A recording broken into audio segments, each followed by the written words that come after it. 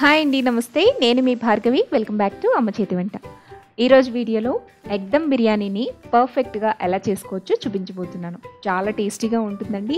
ఇందులోకి మనం సపరేట్గా గ్రేవీ కూడా చేసుకునే పని లేదనమాట. రైస్లోకి మనకి మంచిగా గ్రేవీ అనేది వస్తుంది. నేను చెప్పే కొలతల్ని టిప్స్ని ఎగ్జాక్ట్గా ఫాలో అవుతూ చేయండి. చక్కగా మనకి చికెన్ బిర్యానీతో పోటీ పడే ఎగ్దమ్ బిర్యానీ రెడీ అయిపోతుంది. సో లేట్ చేయకుండా ప్రాసెస్లోకి వెళ్ళిపోతాం ఫస్ట్ మనం ఈ బిర్యానీ కోసం మసాలా పౌడర్ని తయారు చేసుకుని పెట్టుకుందామండి. దానికి ఒక మిక్సీ జార్ తీసుకుని అందులోకి ఒక ఇంచు దాకా దాల్చిన చెక్క నాలుగు లవంగ మొగ్గలు నాలుగు యాలకలు ఒక అనాస పువ్వు ఒక జాపత్రి హాఫ్ టీ స్పూన్ దాకా మిరియాలు అర టీ స్పూన్ జీలకర్ర ఒక టీ స్పూన్ దాకా గసగసాలు కొద్దిగా జీడిపప్పు పలుకులు ఒక టేబుల్ స్పూన్ దాకా ధనియాలు. వీటన్నిటిని కూడా ఫైన్ పౌడర్లా గ్రైండ్ చేసుకుని మసాలా పౌడర్ని రెడీ చేసుకుని పెట్టుకోండి. సో ఈ మసాలా పౌడర్ రెడీ చేసేసుకున్న తర్వాత నెక్స్ట్ మనం టమాటా పేస్ట్ని ప్రిపేర్ చేసుకోవాలి. దానికోసం మిక్సీ జార్లో కారానికి తగ్గట్టుగా నాలుగు లేదా ఐదు పచ్చిమిర్చి కట్ చేసుకుని వేసుకోండి. అలాగే ఒక పెద్ద టమాటాని పెద్ద ముక్కలుగా కట్ చేసుకుని వేసుకుని ప్యూరీ లాగా ఫైన్ పేస్ట్ లాగా గ్రైండ్ చేసుకుని ఒక బౌల్లోకి తీసుకుని పెట్టుకోండి. నెక్స్ట్ ఇప్పుడు ఇంకొక బౌల్ తీసుకోండి. అందులోకి వన్ థర్డ్ కప్ దాకా పెరుగును వేసుకోండి. ఇందులో ఒకటిన్నర టీ స్పూన్ దాకా కారం పావు టీ స్పూన్ దాకా పసుపు రుచికి సరిపడా ఉప్పు. వీటన్నిటిని కూడా వేసిన తర్వాత బాగా బీట్ చేసుకోండి. అన్నీ కూడా కలిసేటట్టుగా ఇలా బీట్ చేసుకుని పక్కన పెట్టుకోండి. ఇప్పుడు స్టవ్ మీద ఒక పెద్ద గిన్నెను పెట్టుకుని అందులోకి రెండు లీటర్ల దాకా నీళ్ళు పోసుకోండి. ఇందులోకి హోల్ బిర్యానీ మసాలా ఇంగ్రీడియంట్స్ కొద్దిగా వేయండి.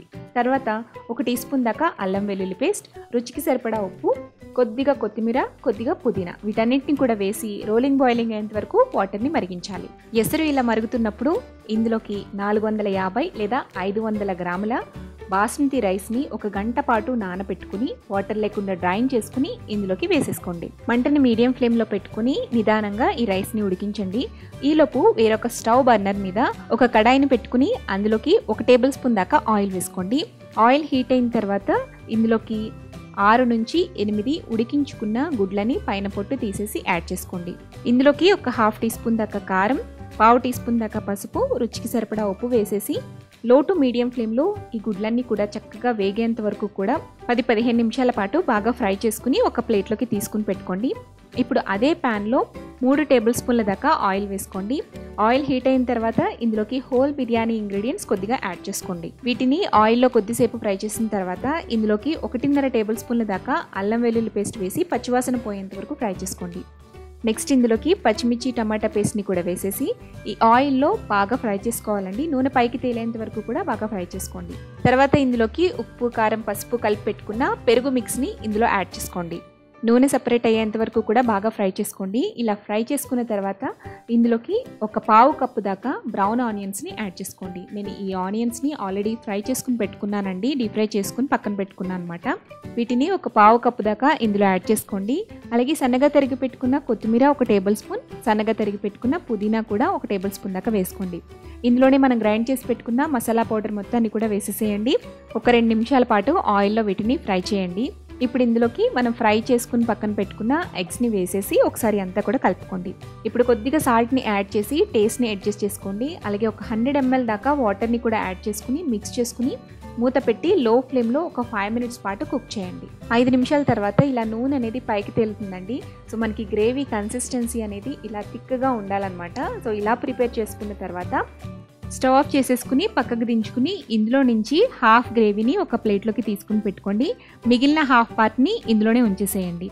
ఈలోపు మనకి రైస్ అనేది చక్కగా ఉడికిపోతుందండి. మనకి almost eighty to ninety percent దాకా రైస్ అనేది ఉడికిపోవాలి. అలా ఉడికిపోయిన తర్వాత వాటర్ మొత్తం కూడా డ్రైన్ చేసేసుకోండి. డ్రైన్ చేసేసుకున్న రైస్ని బిర్యానీ పాట్లోకి మొత్తం వేసేసుకోవాలి. వేసుకునే ముందు కొద్దిగా కొత్తిమీర కొద్దిగా పుదీనా అలాగే బ్రౌన్ ఆనియన్స్ని కూడా యాడ్ చేసుకుని దానిపైన లేయర్ కింద రైస్ని వేసేసేయండి. రైస్ మొత్తం వేసేసి పైన మిగిలిన గ్రేవీ మనం పక్కకు తీసుకున్న గ్రేవీ ఉంది కదా సో ఆ గ్రేవీని ఎగ్స్తో సహా పైన అడ్జస్ట్ చేసేసేయండి. ఇప్పుడు దీనిపైన లేయర్ కింద కొద్దిగా బ్రౌన్ ఆనియన్స్ అలాగే సన్నగా తరిగి పెట్టుకున్న కొత్తిమీర పుదీనా రెండు టీ స్పూన్ల దాకా నెయ్యి వేసేసేయండి. కొద్దిగా కలర్ఫుల్గా కనిపించడం కోసం సాఫ్రాన్ మిల్క్ని కానీ లేదంటే ఎల్లో ఫుడ్ కలర్ని వాటర్లో మిక్స్ చేసి కానీ పైన స్ప్రెడ్ చేసుకోండి. ఇలా అరేంజ్ చేసుకున్న తర్వాత దీనిపైన టిష్యూ పేపర్స్ కానీ లేదంటే బటర్ పేపర్ కానీ లేదంటే అల్యూమినియం ఫాయిల్ కానీ ఏది ఉంటే దాన్ని ఆవిరి పైకి పోకుండా పైన అడ్జస్ట్ చేయండి ఎయిట్ టైట్ మూతని పెట్టేసేయండి. ఇప్పుడు దీన్ని మనం దమ్ చేసుకోవాలి. దమ్ చేసుకోవడానికి దీన్ని డైరెక్ట్గా మనం స్టవ్ మీద పెట్టేస్తే కింద అడుగు భాగంలో మాడిపోయే ఛాన్స్ ఉంటుందండి. అందుకని ఒక పాత పెనాన్ని ఫస్ట్ స్టవ్ మీద పెట్టి దానిపైన ఈ బిర్యానీ పాట్ని పెట్టేసి ఫస్ట్ మీడియం ఫ్లేమ్లో ఒక ఫైవ్ మినిట్స్ పాటు కుక్ చేయండి. ఆ తర్వాత మంటని లో ఫ్లేమ్లోకి టర్న్ చేసుకుని ఇంకొక టెన్ మినిట్స్ పాటు కుక్ చేయండి. ఇలా ఫిఫ్టీన్ మినిట్స్ పాటు కుక్ చేసిన తర్వాత స్టవ్ ఆఫ్ చేసేసుకుని ఈ బిర్యానీ పాట్ని పక్కకు దించేసుకుని ఒక టెన్ మినిట్స్ పాటు అలా వదిలేసేయండి. టెన్ మినిట్స్ తర్వాత వేడివేడిగా సర్వ్ చేసుకోండి. టేస్టీ టేస్టీగా గుమగుమలాడే ఎగ్ దమ్ బిర్యానీ రెడీ అయిపోతుంది. మీరు అడుగు నుంచి తీసినా కూడా చక్కగా మాయిస్ట్గా ఉంటుందండి. గ్రేవీ గ్రేవీలా వస్తుందన్నమాట. సో సపరేట్గా మనకి గ్రేవీ కూడా అవసరం లేదు. కొంచెం రైతాన్ని పక్కన పెట్టేసుకుని ఈ బిర్యానీని సర్వ్ చేసేసుకోవచ్చు. మరి ఈ యమ్మీ యమ్మీగా ఉండే ఎగ్ దమ్ బిర్యానీని మీరు తప్పకుండా ఇంట్లో ట్రై చేయండి. ట్రై చేశాక మీకు ఎలా కుదిరిందో ఎలా వచ్చిందో నాతో షేర్ చేసుకోవడం మర్చిపోవద్దు.